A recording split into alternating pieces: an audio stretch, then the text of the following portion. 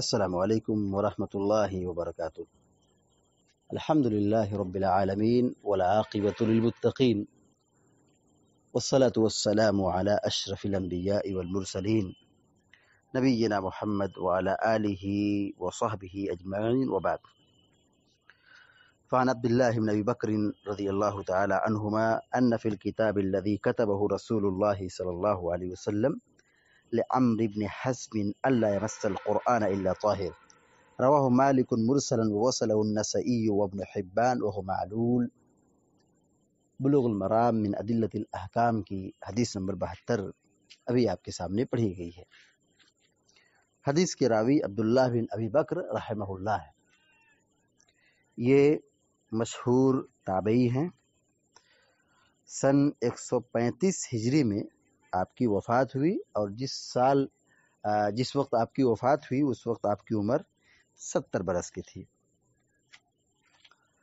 अब्दुल्ला बिन अबी बकर रहमहुल्लाह। कहते हैं कि अन नफिल किताब लदी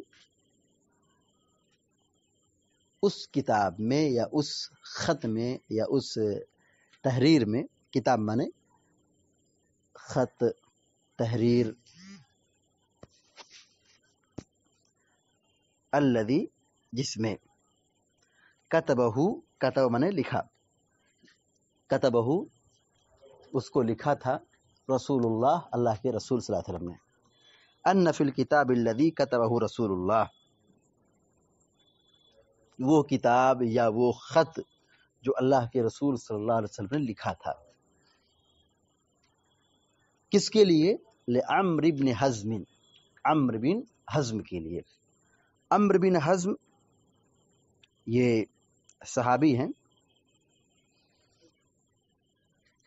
मदीना के ये मशहूर सहाबी हैं। कबीले खजरज से इनका ताल्लुक़ था। इनकी कुनियत अबू जहाक है। गजब खंदक में इन्होंने अल्लाह के नबी के साथ शिरकत की थी। फिर अल्लाह के नबी वसल्लम ने नजरान की तरफ़ इनको आमिल बना करके भेजा था कि वो सदक़ात वगैरह की वसूल करेंगे और फिर वहाँ उन लोगों को दीन और ईमान और अकीदा सिखाएँगे। है तो उमर बिन खत्ताब रदी अल्लाह तु के दौरे खिलाफत में भी वहीं पर थे, इसी ड्यूटी पर, इसी काम पर। सन पचास हिजरी में मदीना में आपकी वफ़ात हुई। अल्लाह के नबी सल्लल्लाहु अलैहि वसल्लम ने इन्हीं की तरफ़ एक लेटर, एक ख़त, जिसमें मुख्तलिफ़ अहकाम और मसाइल को लिख करके भिजवाया था।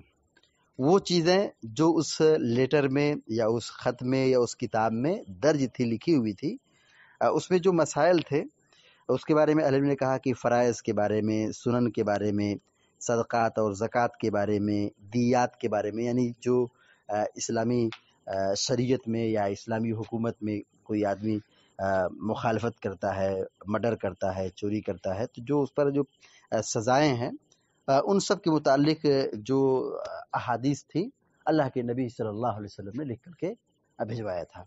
क्योंकि आपने खुद नहीं लिखा था क्योंकि आप लिखना नहीं जानते थे, लिखवाया था तो ये कहा जाता है कि आदमी ने काम करवाया है तो काम की नस्बत उसकी तरफ़ की जाती है कि ये काम उसने किया है। बहरहाल, अल्लाह के नबी सल्लल्लाहु अलैहि वसल्लम ने एक लेटर लिख करके अम्र बिन हज़म की तरफ़, जो नजरान में थे।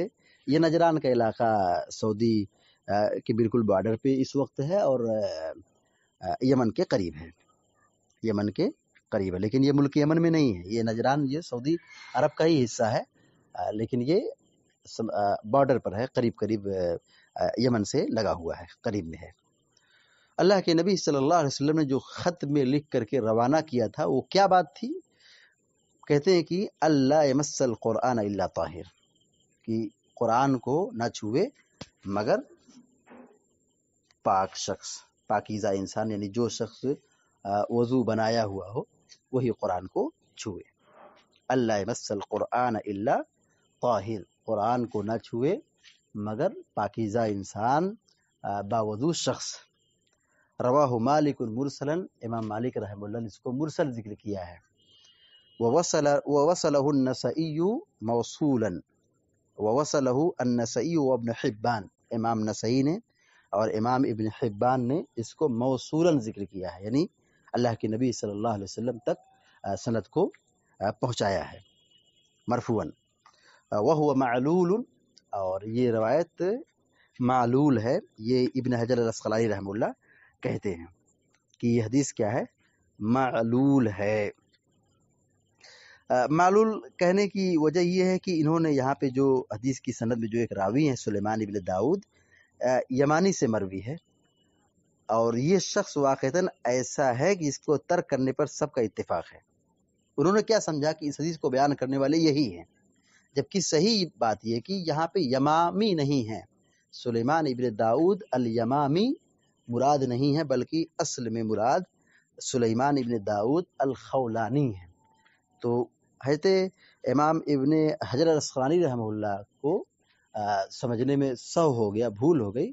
उन्होंने इनको समझ लिया जिसकी बुनियाद पर उन्होंने कहा कि रवायत मालूल है जबकि हकीकत और सच्चाई ये है कि ये रवायत मालूल नहीं है क्योंकि इस हदीस के इस हदीस की सनद जो रावी हैं जिसकी बुनियाद पर इनको रवायत को मालूल कहा गया है वो सुलेमान इबन दाऊद अल खौलानी है और वो मोतबर हैं सिकारावी हैं और तमाम अहले इल्म ने इम मुहदसिन ने इनकी तारीफ़ बयान की है और वो काबिल अतमाद और काबिल भरोसा और सिकारावी हैं।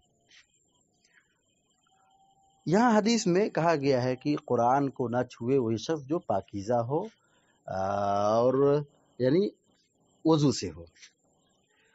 देखिए, तहारत की दो किस्म होती है। तहारत दो किस्म पर है। एक तहारत वो है जिसकी ताबीर हद से अकबर से की जाती है। और दूसरी हद से असगर से, यानी हदस की तहारत की दो किस्म है। यानी एक आदमी पाक हो रहा है, दो तो वो दो चीज़ों से मुराद होता है। पहली चीज़ है कि आदमी नापाक हो गया था, गुस्ल की ज़रूरत थी, इसको हद से अकबर कहा जाता है। कि आदमी जुनबी हो गया, जनाबत में दाखिल हो गया, नापाक हो गया, अब उसको नहाना है तो ये हद से अकबर अकबर बने सबसे बड़ा।